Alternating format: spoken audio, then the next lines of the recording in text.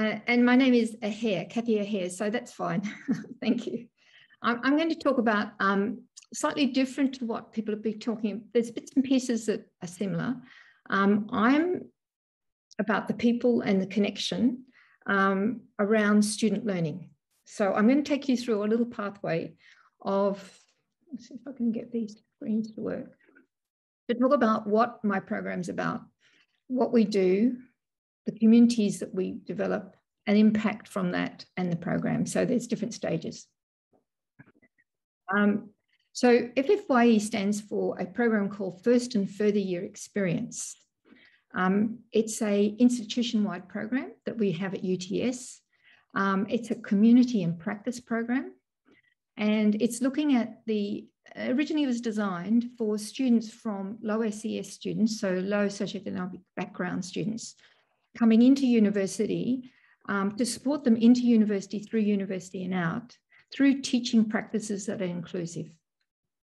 So the key, the key thing was that if we could do good, good practice or inclusive practice from uh, with these students, it's actually going to benefit all students. And so we have this little framework where the students, we want to focus on two things, identity and belonging. So um, from what you've, um, Jingbo was talking about was trust.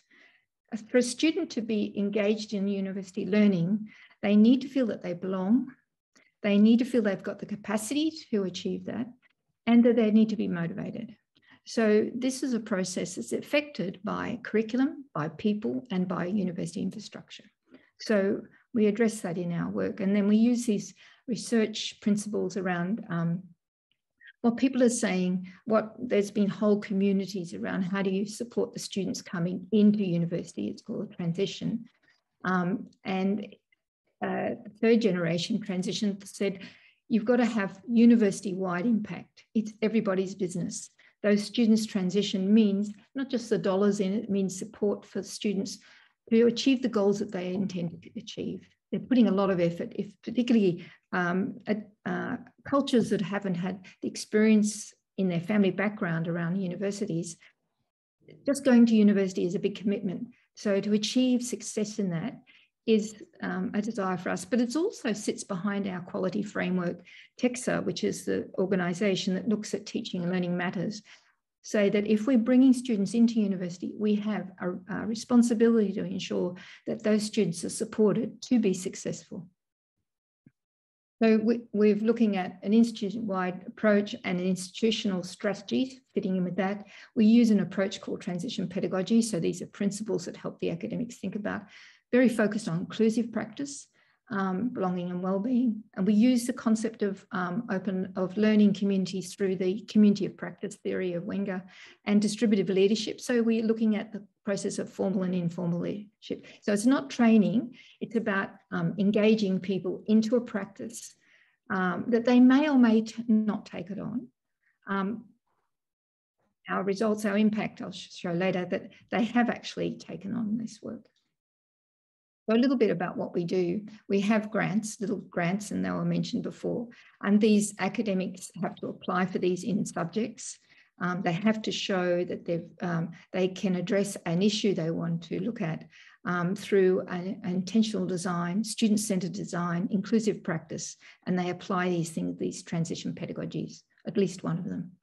Um, and then they, they trial a project in the class academics need some sort of resourcing for this and some um, the resourcing and a grant given to them gives them a sort of a, a little bit more status in the faculty that they're doing some work um, they're being paid to trial something they'll they'll evaluate it in their work then they'll report on it and then um, disseminate it.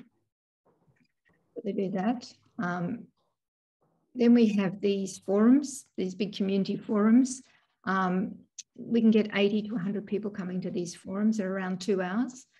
Um, this little image I've got here is an academic who's got a grant, who's got us all engaged in a what he calls um, uh, improv. We're doing activities to engage us, to meet and connect. And the idea of of this is that we can take the practice into the classroom to get students to meet and connect, but also to start being confident in having discussions in the room.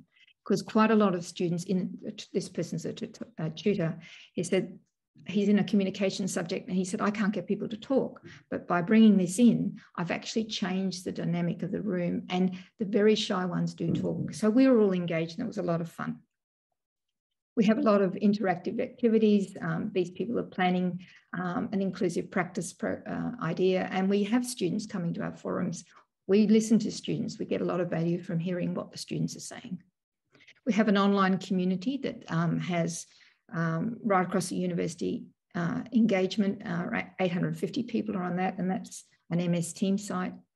And I work with, um, I'm the central coordinator, so I work in the um, teaching and learning area across the university. There's faculty coordinators as well um, in each faculty. They're academics in first year usually, um, and they work with me to get the local buy-in, and they work with me talking to the other side of the student's experience, the co-curriculum environment.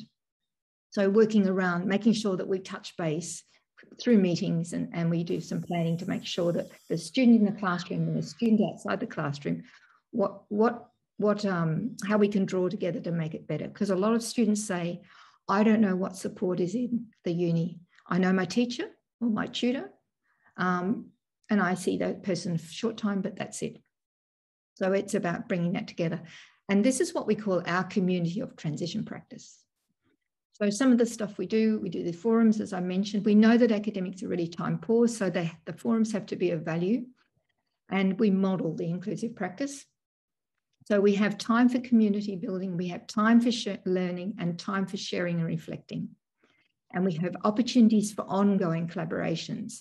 So like Jingbo was saying about connecting people, um, from different disciplines, we are actually doing that as well within the teaching environment to go into another area. And, and that's through ca uh, casual conversation sitting. So the images here um, on the bottom one, these people are playing a game around um, in, academic integrity being trialed. And this, this academic is a researcher in science, quite a senior, and he's picked up one of our grants. This is an academic in um, teaching and learning, and this person is from law and so they're working together. Over here, we've got, um, this was um, taken from a forum called, um, I think it was a student engagement forum. So we had a, guest speaker talking to us around what is it that uh, we need to do around student engagement. And then there was, a, there was time for sharing. And these people from a range of faculty, I think we actually had 150 people at that forum. Um, the topics have to be relevant to the academic. They have to, and, and I've just picked up this year's topics where I work with a teaching and learning team. And so um, I usually lead the hot topic with the forum and the academics again have to come, if they're coming, if they've got to be able to take something away from them and it's belonging. And in this case, the student panels worked really well. The activities worked really well. Uh, and we know that from our feedback for, from, from we do surveys immediately after the forums. Um, um, and this image is about a, a students as partners program uh, session that we had uh, a couple of years ago, where we were trying to look at what practices we could do. And the students led each of the tables um, for the activities and then summarized and then came back and presented the data. So that was another great engagement practice. We bring, um, we have um, people who come to these forums from a range of backgrounds. They could be casual academics, they could be um, professors, uh, they could be professional staff. And so we need to make sure that we have practices that bring um, an opportunity for both the curriculum and co-curriculum people to talk together. So that building that connection, that belonging, that sharing. Um, and this example I've got here is taken from the Student Learning Hub, have been noticing the journey of the students as they go through the university. And they, they want to know what did the academics see the students' journey. So people went into breakout rooms and um, uh, worked out on this Jamboard. For each, for each room had its own Jamboard where they saw the students were doing the work, the diff- what they needed to do at different, or what, what they saw they did across the different weeks of the semester. And then, then that can get compared to what the student services had picked it up. And so that's a comparison. So that was, um, I thought, was a great um, synergy between the two groups. So the impact For me to look at impact of forums, we've got two ways of doing it. I, I count data. Who's ever in, who's ever part of my community, who's ever come to a forum, who's done a grant, who's um, been involved in any way, I put them in a database. I track who they are, what faculty they are, what um, uh, what role they have. So it's faculty name, role, um, which discipline they're in, email address, of course, and then if they attend. If they respond to me, um, I, send out invitations to get my numbers. Generally, our webinars um, or forums or um, meetings, we tend to get 30 people at the most. And um, with mine, they were growing to the 100 or over, over enrolled. People would say now say to me, Kathy, can you send this to your list? There's over a thousand people in that list now. Uh, and that, that's updated um, with people who drop out. As soon as I send an email, I find that the university has retrenched this person or this person, so they've got to go. Um, and then the new people come in. Um, so I, I, make sure I have information. Um, so when I send out a forum invite, I make sure that I have a week, a month's notice with a busy academic. They need a month. Um, anyone who responds to me gets ticked into the box.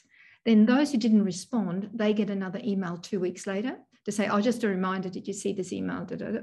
Um, again, I might get more, more interest, capture that. And then just before the uh, forum, I'll, if I have space, I will advertise again, but only to those who haven't registered. I get buy-in by my associate deans, teaching and learning. So they're the people who run the teaching and learning in each faculty and by the faculty coordinators.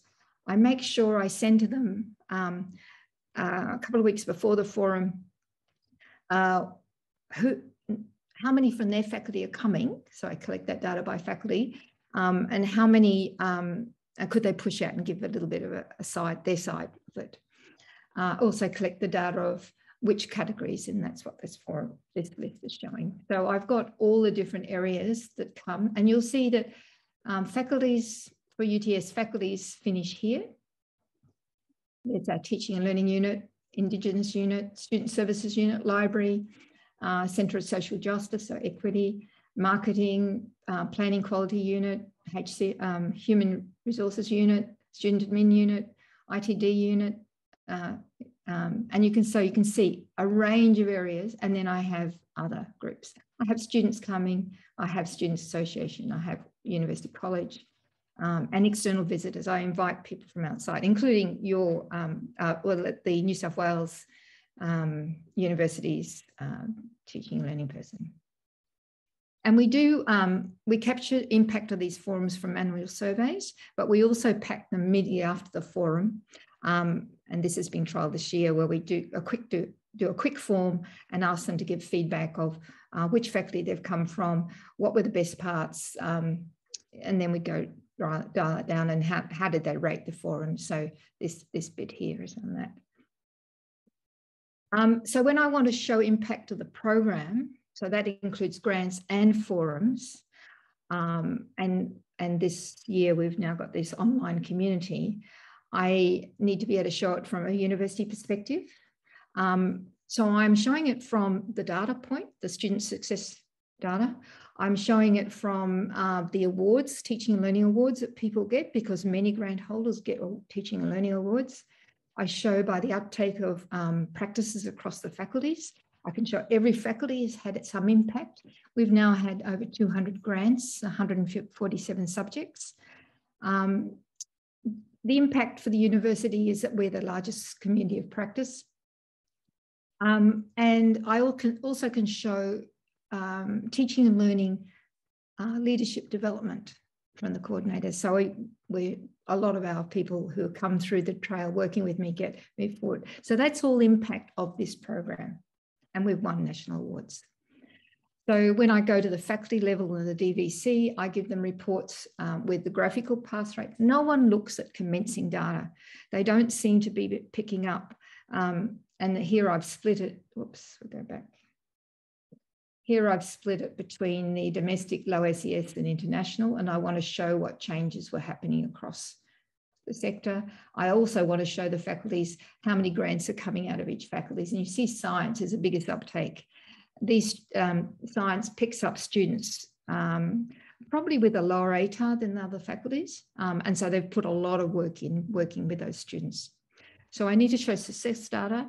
I need to show, um, I use this data as well, tracking, particularly this, um, this data is picked up, I, I uh, explore the um, Cognos um, business intelligence system and pull the data and turn it into confidence interval data and then present it um, to the deans. And, and I can pick up that there's, if depending on when people arrive, I can work out there's an area concern, second, second entry groups actually do 10% lower in pass rates than the others. So what's happening there, who, and which faculties, and, and so I divide it into faculty level. So every associate dean gets their own little picture of this. And I mean, it's quite intense, it's quite big. Um, I give them feedback on community, the topics, who's attending, and the surveys, and I give them feedback on the grants, the uptake, and I tell stories around the grant practices. So I draw on those reports. Um, so if I'm talking to the academics though, I want to give them feedback. And so we've developed, when I was showing them the graphs, those graphs didn't mean anything. So we got in and developed a dashboard for academics to know around their subject. And so they can say who's coming in daily, which degrees they're seeing, what range of backgrounds they've got, English, non-English, that's what it is, what pathway they've come in, um, and then the gender groups and the age groups. And then they have other pages that will tell them pass rates and another page is enrollments withdrawals. And for the coordinators that I work with, they need to be able to talk up, up to their associate deans and they need to be able to understand the dashboards that are existing around the place. Um, plus, I also give them data. And that's where I'm finished.